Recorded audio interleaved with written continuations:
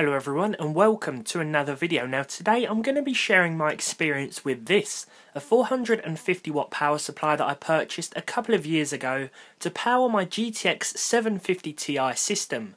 Shamefully it cost me £11.99 on sale, roughly $15 or 14 euros. Buying it wasn't the best idea I admit, and with the PSU being the most important part of any system, it could have been considered a silly risk, but with the low system draw and the 750 Ti sipping power straight from the PCIe slot, it actually held up.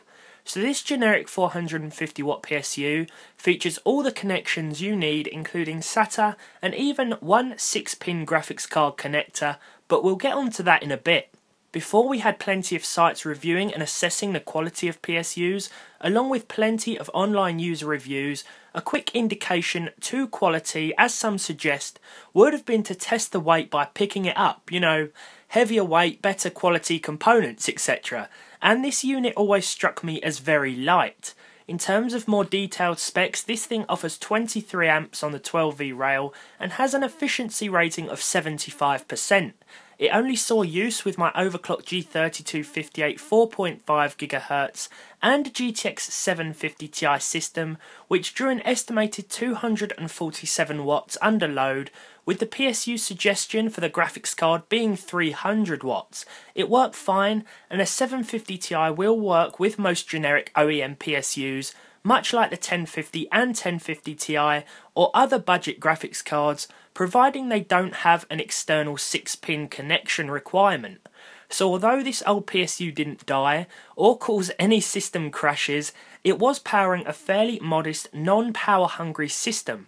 So, today I decided to take the risk with my i5 4460 and GTX 1060 PC to see if this thing would power it. This new PC is a little more power hungry with an estimated 323 watt load wattage.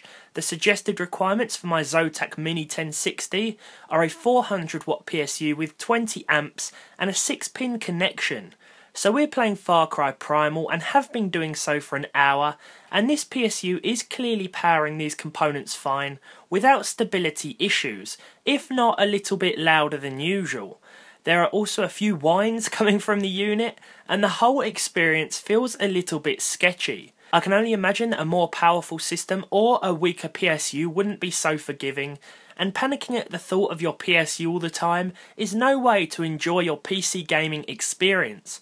As I mentioned before, cheaper PSUs should run less powerful GPUs no problem, so should OEM ones that you find in Dell's, HP's, and other name brand pre built computers, but I've only come to understand and appreciate the risk more since my $5 Dell's power supply popped after a CPU upgrade. To conclude, it's entirely up to you what PSU you go for, of course, but if buying a reputable name brand one for 20 to 30 pounds, dollars, or euros more means that you have to cut back on, say, an extra stick of RAM or an optical drive to stick within budget for now, then I definitely recommend doing so and prioritising safety and efficiency. After that, feel free to build the rest of your system as cheap as you like. There are also a couple of power supply calculators online that help you to figure out what PSU you need for a system, and I'd recommend checking those out too if you're unsure. So guys, thank you so much for watching. I hope this video has been helpful today. I wanted to share my experience a little bit. If you enjoyed it, leave a like down below. Leave a dislike if you didn't, and hopefully I'll see you all in the next video.